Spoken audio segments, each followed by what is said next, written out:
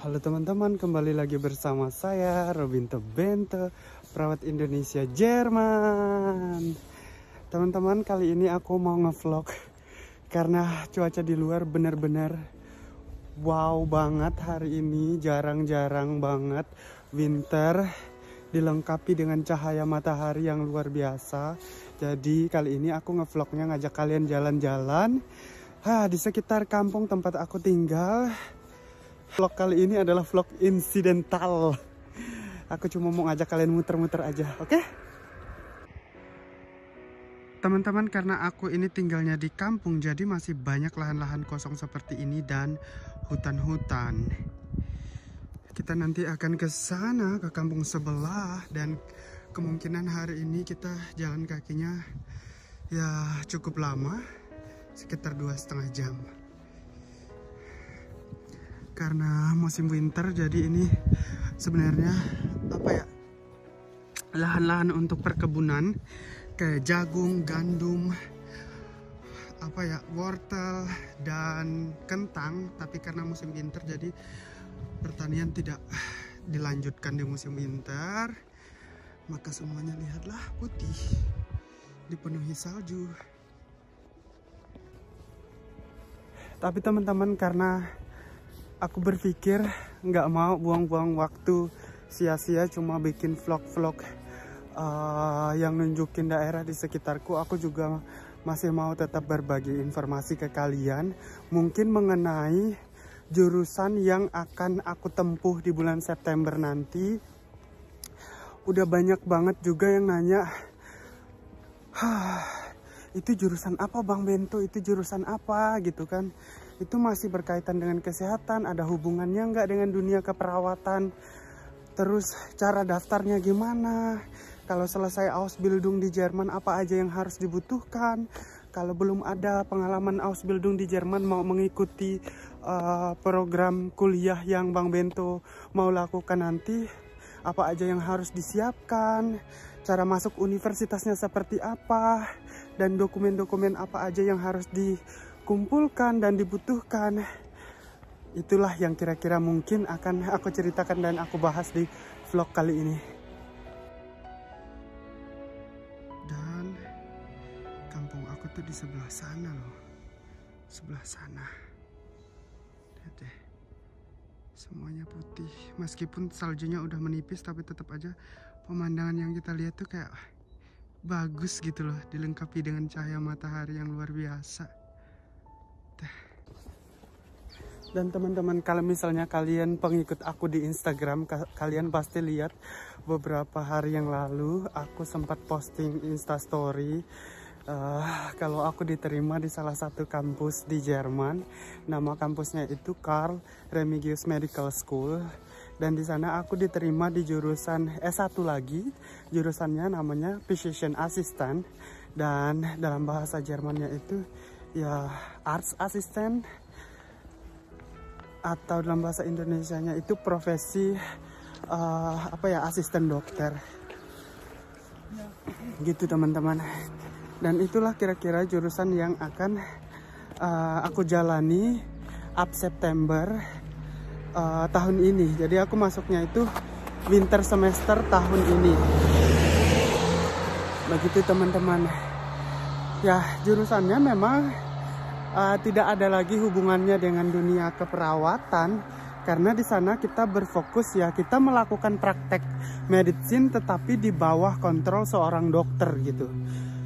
Itulah kira-kira.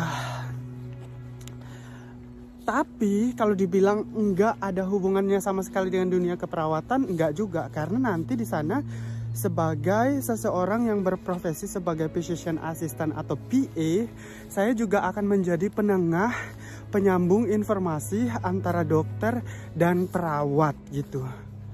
Begitu teman-teman.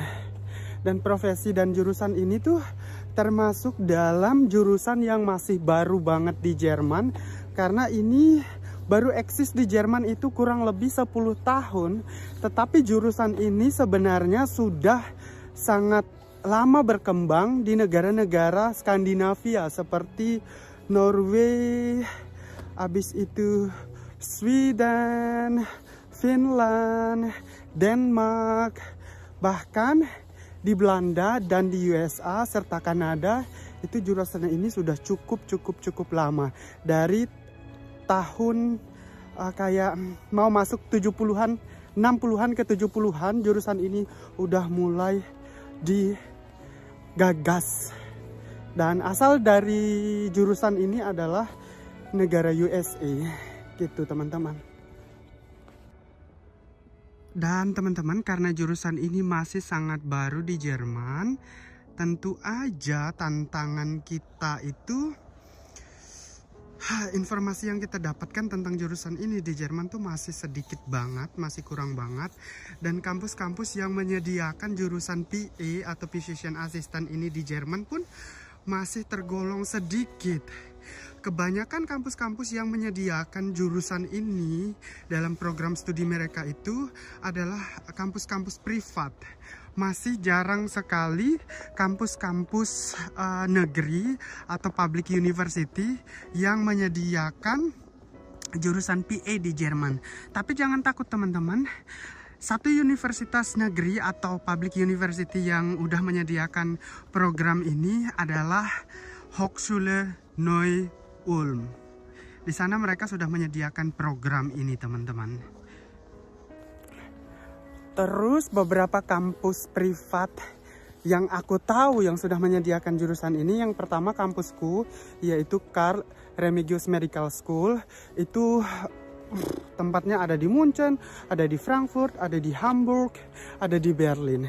Terus kalau kalian tahu SRH Hochschule itu juga privat university atau privat Hochschule yang ada juga jurusan PA-nya. Terus D DHGS atau DGHS Deutsche Gesundheit und Sport Hochschule yang ada di Munchen dan beberapa tempat lainnya juga udah ada menyediakan um, jurusan PA. Terus salah satu kampus di Hamburg yaitu Hamburg Medical School itu juga udah menyediakan jurusan PA ini dan beberapa kampus-kampus privat lainnya. Intinya sudah cukup banyak dari kampus-kampus di Jerman yang sudah menyediakan program uh, S1 dari PA. Dan kalau kalian bertanya, Bang Bento kalau aku tertarik ngambil PA di Jerman atau Physician Assistant, apa yang harus aku lakukan? Jadi setiap kampus itu aturannya berbeda-beda teman-teman.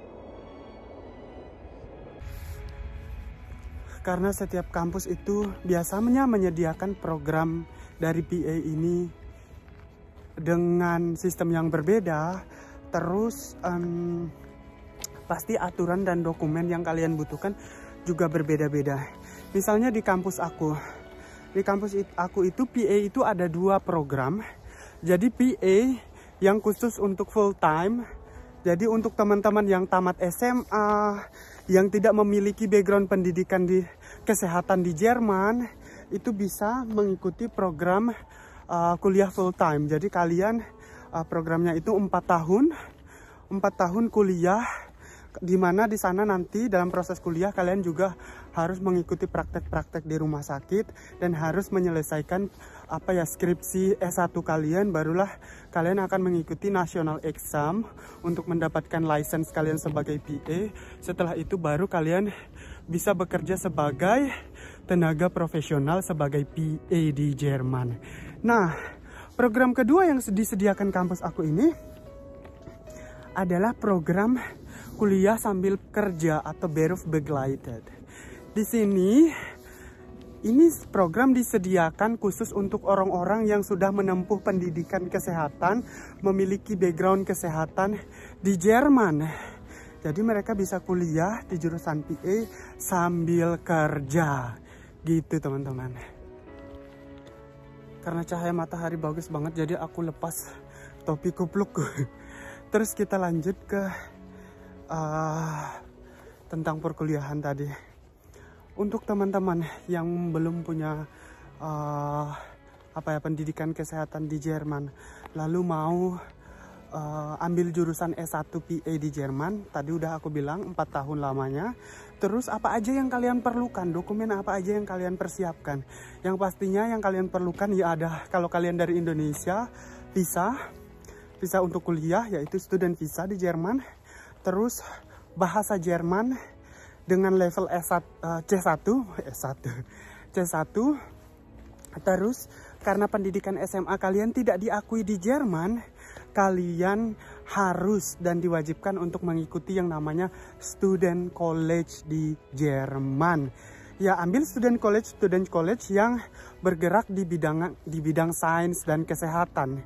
Nggak mesti M course, nggak mesti M course. Kalian juga bisa ngambil misalnya uh, student college yang di mana di sana kalian mempelajari IPA, biologi, kimia, fisika, dan lain sebagainya gitu.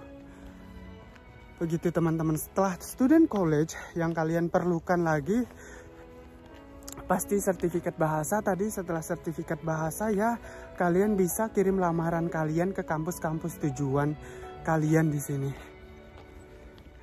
Lalu setelah kalian mengirimkan lamaran, nanti kalian pasti akan diminta untuk mengikuti tes masuk perguruan tinggi, termasuk perguruan tinggi swasta di Jerman itu ada tesnya gitu.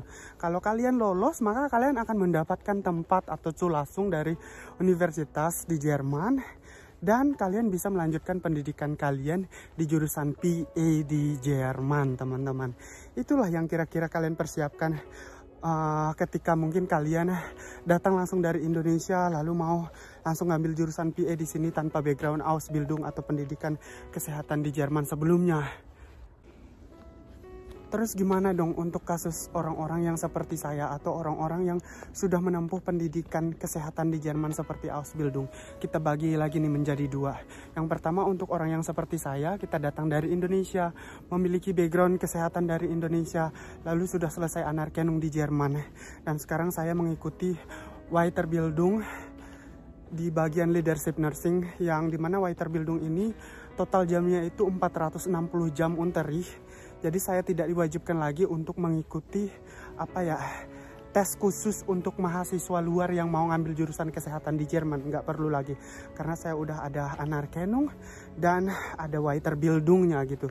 Tapi kalau misalnya kalian cuma datang ke Jerman dapat Anerkennung pengalaman kerja minimal 2 tahun terus kalian tidak ada pengalaman Weiterbildung di Jerman, maka kalian diwajibkan lagi untuk mengikuti satu tes setelah equivalence Prüfung ada lagi satu tes yang dikhususkan untuk mahasiswa-mahasiswa yang berasal dari luar belum memiliki paspor Jerman lalu mau mengambil jurusan kesehatan di sini. Nah, tes itu juga untuk menentukan apakah kalian layak atau tidak gitu. Karena kalian belum ada pengalaman uh, Weiterbildung atau mengikuti pendidikan kesehatan di Jerman minimal 460 jam Unterricht. Jadi kalian wajib ikut tes lagi. Kalau saya nggak perlu lagi. Dan bagi teman-teman yang mengikuti Ausbildung keperawatan, kebidanan, apa pun itu, Altenpflege, Kinderkrankenpflege, dan Gesundheit und Krankenpfleger di Jerman, kalian diwajibkan untuk memiliki minimal 2 tahun pengalaman kerja di bidang kesehatan. Lalu kalian juga harus mengikuti tes tersebut. Karena ijazah SMA kalian itu kan tidak diakui di Jerman. Sementara kalian mau langsung ngambil pendidikan S1 gitu. Jadi kalian diwajibkan untuk mengikuti tes tersebut tesnya biasanya kalau di universitas aku selain disediakan di Munchen ada juga di Fulda. Begitu teman-teman. Jadi kalian nggak bisa langsung masuk ke universitas meskipun kalian sudah punya pengalaman Ausbildung di Jerman, punya pengalaman kerja di Jerman. Itu ada tahap-tahapnya. Setelah ikut equivalence proofing untuk mengetahui kompetensi kalian di bidang kesehatan. Lalu ada lagi yang namanya tes khusus. Aku belum tahu namanya itu kira-kira Einstufung test. Einstufung test kayaknya sih kayak gitu sih untuk masuk universitas. Dan teman-teman itulah kira-kira perbedaannya jika kalian menginginkan atau memiliki rencana untuk ngambil jurusan PA di Jerman, kalau kalian sekarang lagi dalam proses Ausbildung ya, kalian harus persiapkan diri kalian baik-baik. Terus bahasa juga, meskipun kalian sudah uh, Ausbildung di Jerman, tetap kalian akan diminta untuk melengkapi sertifikat C1 dan mereka juga akan melihat kualitas bahasa kita nanti ketika kita kayak aku kemarin ikut equivalence proofing. Mereka melihat bahasa medicinku itu masih agak tersendat-sendat gitu dan mereka menyarankan aku untuk mengikuti yang namanya C1 Medicine di Jerman sekarang kita lanjut ke dokumen. Dokumen-dokumen apa aja yang aku perlukan?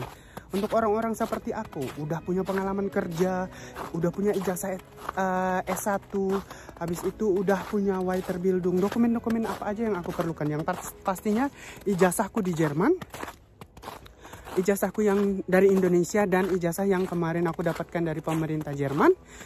S1 ku habis itu uh, itu semuanya di Beglaubigte Copy dan kalau dari Jerman pasti udah ada dalam bahasa Jerman langsung tapi kalau yang dari Indonesia harus harus aku terjemahkan dulu.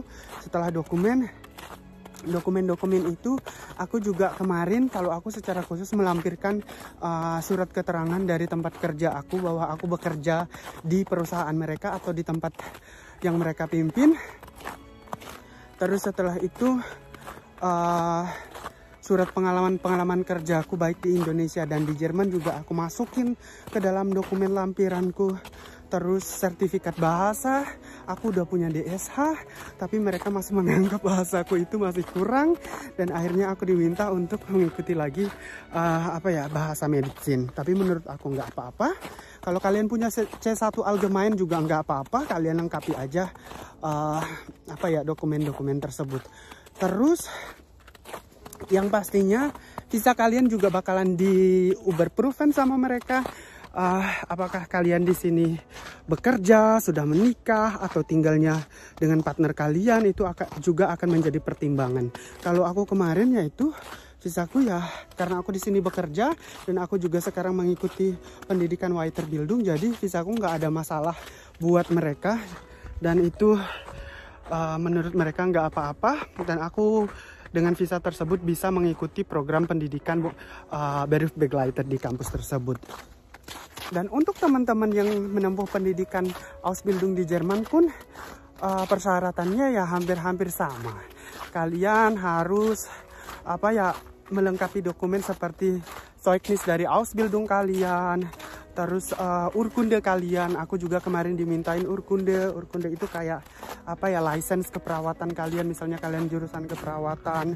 Terus setelah itu untuk teman-teman di uh, dari Indonesia yang menempuh pendidikan di Jerman Ausbildungnya juga pasti dimintain C1 setelah C1 ya pasti visa kalian setelah itu barulah kalian akan diperbolehkan untuk mengikuti tes. Kalau aku kemarin cuma equivalence test karena aku kualifikasi-kualifikasi lainnya sudah aku lengkapi.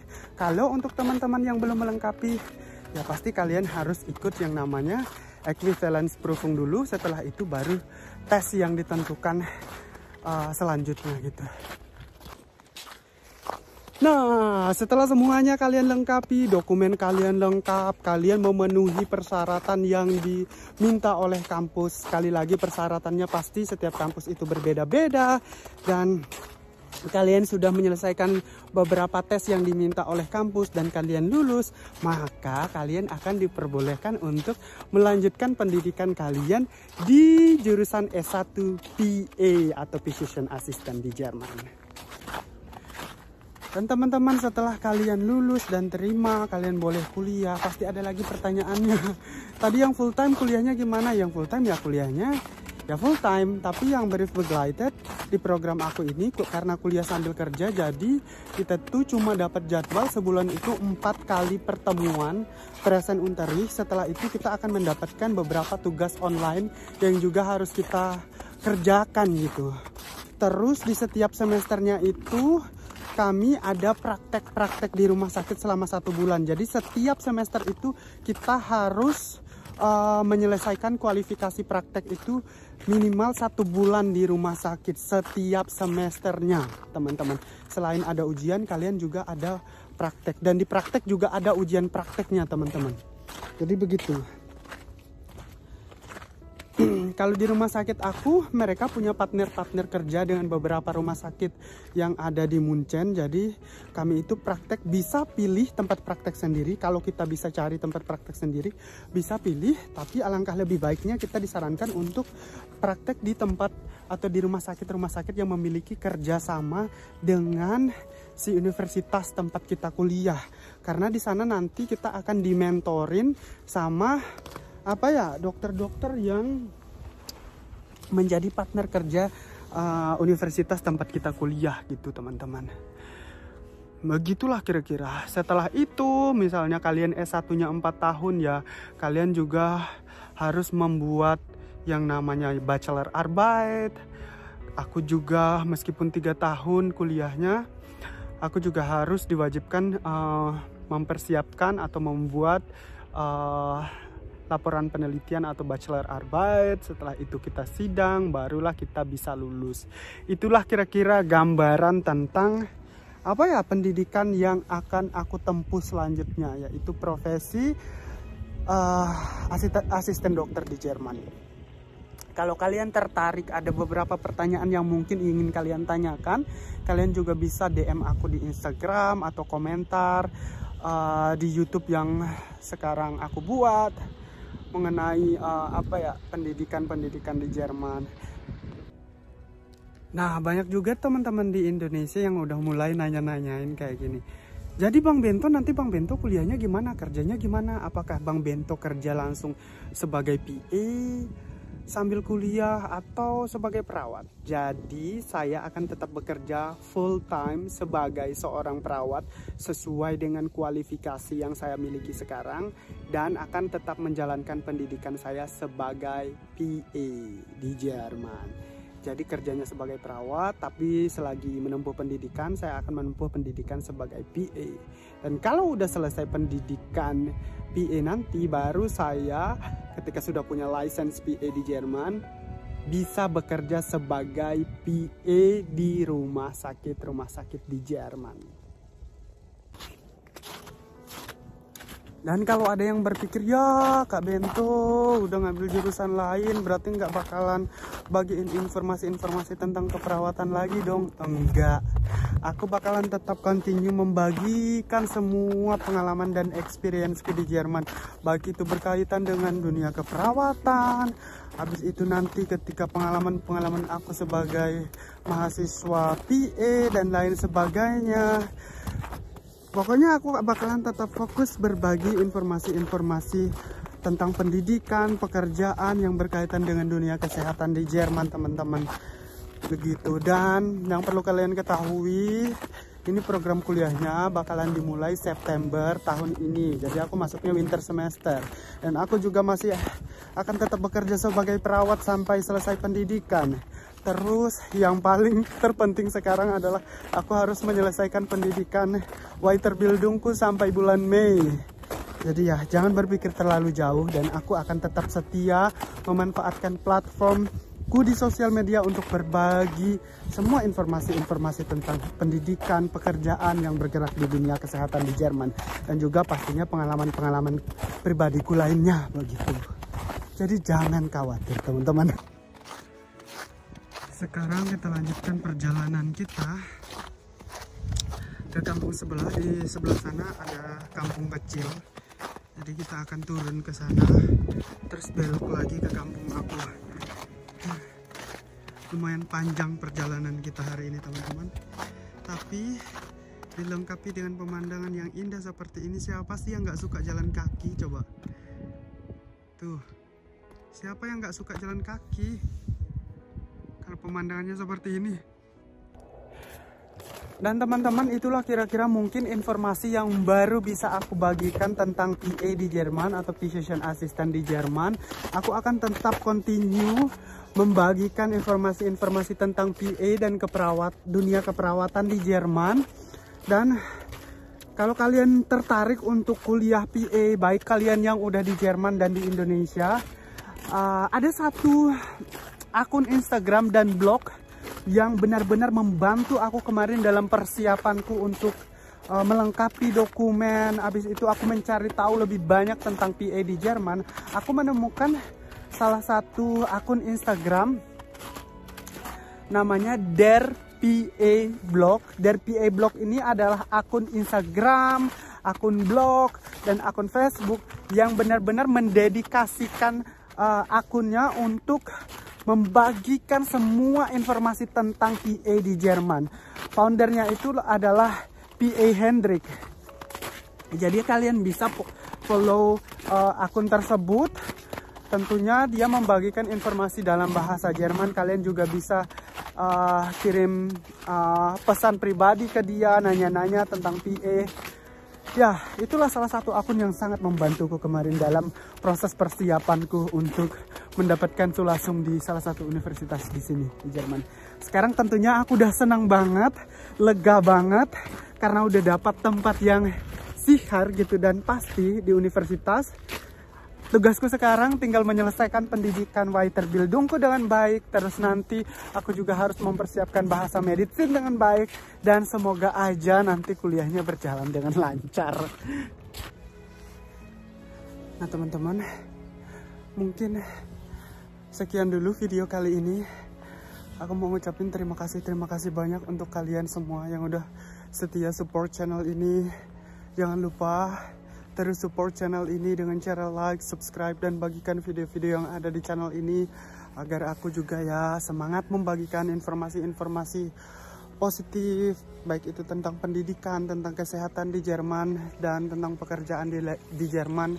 Jadi ya sekali lagi jangan lupa berikan dukungan kalian untuk pertanyaan-pertanyaan kalian tentang dunia keperawatan, tentang PA, tentang apa pun itu yang berkaitan dengan dunia keperawatan dan dunia kesehatan di Jerman, kalian bisa berikan pertanyaan kalian dengan cara DM aku di Instagram. Instagramku namanya Robian Bento. Kalau ada waktu, pasti aku akan berusaha untuk membalas pertanyaan-pertanyaan kalian semua. Sekali lagi, thank you for watching dan sampai jumpa di video-video berikutnya.